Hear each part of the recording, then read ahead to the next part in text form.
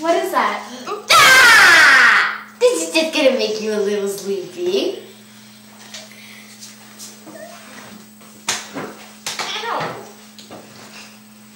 I just want to give out a huge shout out to my friend Zara Millard. that's me. And I'm gonna sing my next song for her. Oh! Okay, now that's payback for bothering me. to be continued.